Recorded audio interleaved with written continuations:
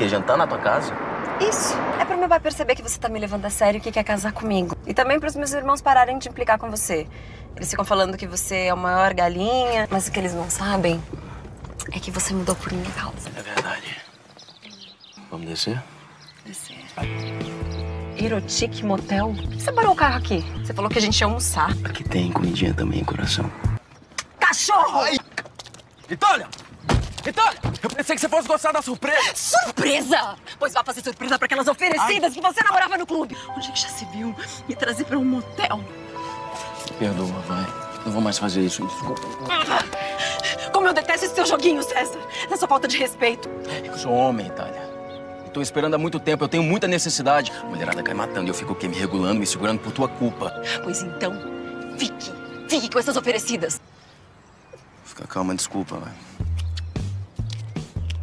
Me leva daqui agora. Falei que não ia dar certo. Itália é jogo duro, irmão. Quero ver se consegue. Tá aí, ó, quebrando a cara. É, a aposta ainda tá de pé. E aí, olha que eu vou cobrar. Mulher nenhuma resistiu muito tempo. É, Calma, renta tá entrada. Não vai ser diferente, não. é, ó, tô achando que você vai ter que casar. Eu aposto com você que eu consigo. Ai, César, você precisa fazer alguma coisa. Lá em casa todo mundo pensa mal de você. Ninguém acredita quando eu falo que você me leva a sério. O importante é você acreditar em mim. Eu não tenho que provar nada pra tua família, só pra você, meu amor. Tem que provar pra eles sim.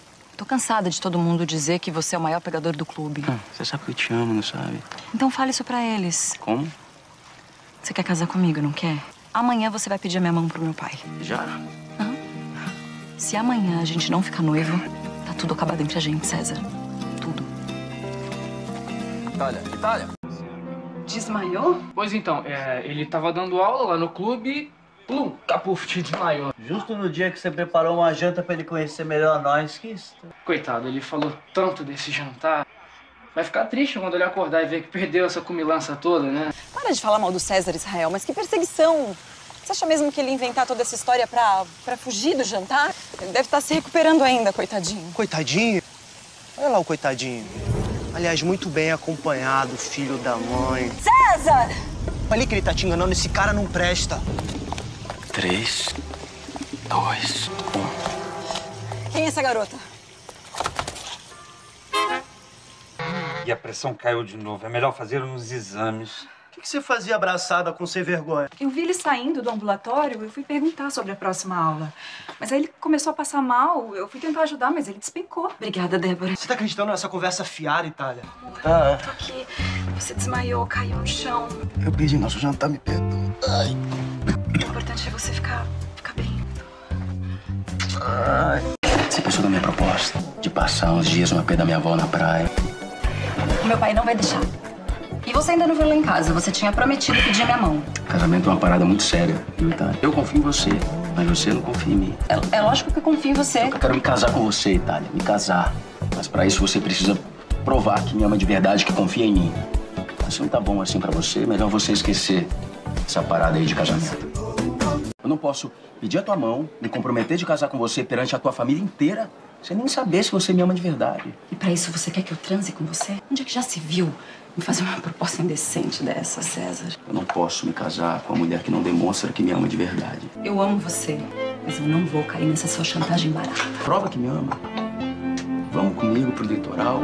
Caso contrário, pode esquecer essa parada de casamento, porque casar no escuro assim pra mim não vai rolar.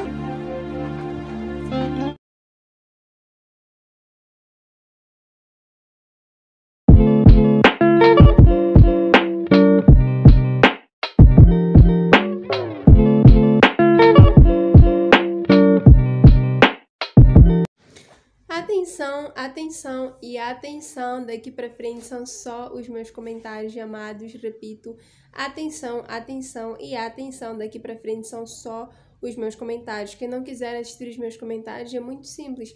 Interrompa o vídeo por aqui, espero postar a próxima parte e assista os primeiros minutos da próxima parte, tá bom?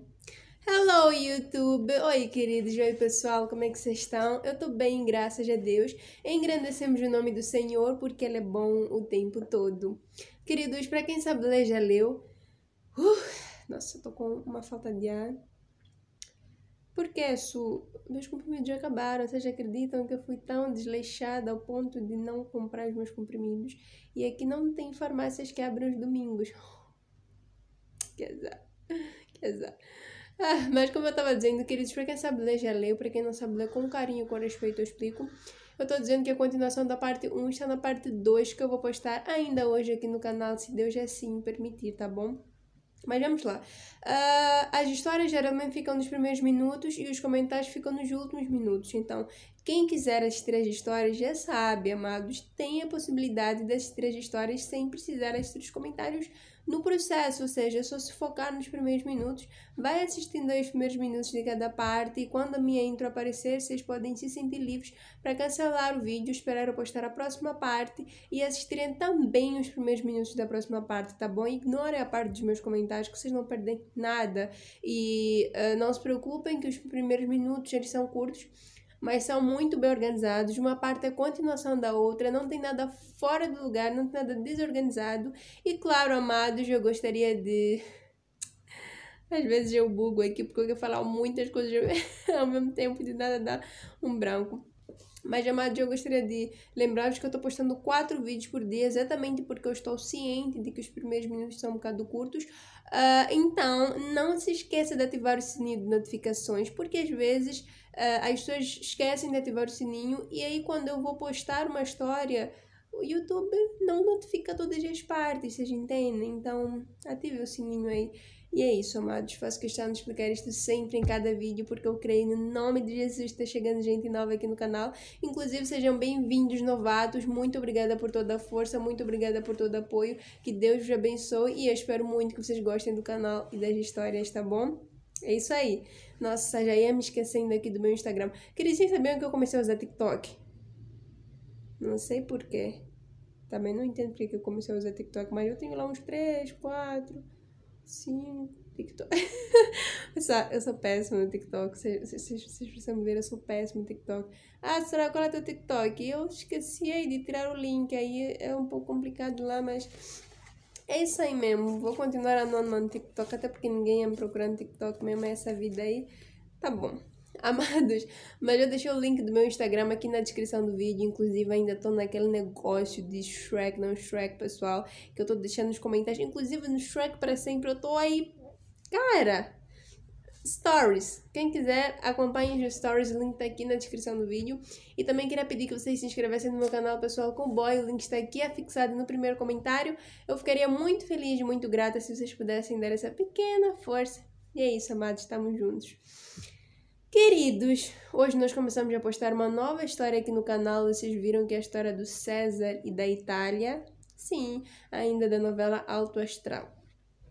Essa história é uma história um pouco assim, né? Que levanta, sei lá, opiniões diferentes. Por quê? Porque a história começou de um jeito, queridos. Um jeito. Uh, César sempre foi aquele mulherengo que não queria saber nada da vida, só queria, sei lá, se tornar um campeão de natação, algo que ele também nunca conseguiu, né?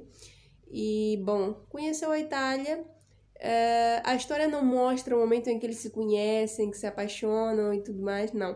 A história começa exatamente no momento em que eles já estavam namorando e o César tinha feito uma aposta, ou seja, ou seja, o César não estava namorando com a Itália porque ele se apaixonou pela Itália, não. O César estava namorando com a Itália porque ele apostou com os amigos dele é, uma caixa de cerveja, só para você ter noção, uma caixa de cerveja que levaria a Itália para cama, pessoal. Sabe? Isso é brincar com os sentimentos de uma mulher. Ninguém merece isso. Ninguém merece isso, pessoal. Cara, apostar que ia levar a mulher pra cama por uma caixa de cerveja, isso é humilhar ela como mulher, pessoal. Então essa história já começou muito mal e dá pra ver claramente que ele era super fingido. No início da história, inclusive agora que vocês estão assistindo, eu não sei vocês, mas eu particularmente percebi que o César tá muito fingido, fingindo que está apaixonado, fingindo que está interessado. Quando uma pessoa tem interesse de verdade, tu acabas percebendo na história, tu acabas vendo a forma como a pessoa age. Mas o César não, tá lá, todo feliz, uh, apostando uma caixa de cerveja para levar a Itália para cama, para vocês terem noção, nenhum homem tinha conseguido levar a Itália para cama, nenhum homem daquele clube. Então para ele era um desafio, tipo, ah, não se preocupe, eu sou o César, eu sou o tal, não se preocupem que eu vou levar ela para cama. Eu confesso, quando eu comecei a ter essa história, eu fiquei tipo, olhei para ele e fiquei tipo, nossa, que desnecessário, que baixo, que que é isso, homem de verdade não faz isso. Mas você já não perceber que ele fugia da família dela. Claro que ela ele fugia, ele não tinha nenhuma intenção de se relacionar, ter um relacionamento sério com a Itália. Tanto é que quando a Itália marcou o jantar com a família dela, ele simplesmente fugiu, fingiu que estava passando mal, fingiu que estava doente, que não podia aparecer, porque ele não queria se prender àquela família porque ele não tinha interesse de levar a Itália a sério. Ele só queria dormir com a Itália, mostrar isso para os amigos e pronto, Itália já era, sabe? Tipo, descartar a Itália como se ela fosse um pedaço de lixo, sabe? Então, ele inventava muitas desculpas, sem contar que ele já tinha caso com outras mulheres, e uma das mulheres é aquela que vocês viram lá, que ele fingiu que estava passando mal, ele fingiu que estava passando mal. Cara, que baixo isso. Só porque a Itália tinha encontrado ele no flagra. E o mais triste é que a Itália era ingênua o suficiente para acreditar nele. Toda a família da Itália, todos os amigos da Itália, os irmãos da Itália, eram contra esse relacionamento porque eles sempre diziam: o César não mudou, o César tá te usando, o César continua sendo o mesmo mulherengo, o César isto, o César aquilo. Mas a Itália continuava acreditando no César, inclusive a Itália era a única que acreditava que o César tinha mudado. A, a, a moça que acreditava que o César amava ela, ela conseguiu fazer com que o mulherengo fosse, se tornasse fiel, sabe? Esse tipo de ingenuidade ela tinha. Mas uma coisa que me chamou muita atenção é que eu fiquei tipo, nossa, ele joga muito baixo. Foi quando ele tava a pedir prova de amor. Cara, o pior é que existem muitos homens imbecis desse jeito, pessoal. Muitos homens que se portam desse jeito triste. Cara, e é isso que fazem com as mulheres. Prova que tu me amas, para que dormir com ela? E por acaso dormir com alguém é prova de amor? Inclusive, se vocês foram perguntar agora, eu vou me posicionar contra. Para mim, dormir é só depois do casamento, cara. Então, é a ideia que eu tenho agora. E é isso, né? Talvez vocês tenham outra opinião aí, cada um com a sua. Respeito a vossa, espero que respeitem a minha também. Mas o César foi esse cara idiota que vocês estão vendo. Mas se vocês querem ver o desenvolvimento dessa história, se ele consegue dormir ou não com a Itália, eu vos convido a estrear a parte 2, que eu vou postar ainda hoje aqui no canal, se Deus assim permitir. Vemo-nos lá e sem mais demora e sem mais enrolação, eu vou desaparecer do vosso belíssimo ecrã. Em 3, 2, 1, tchauzinho.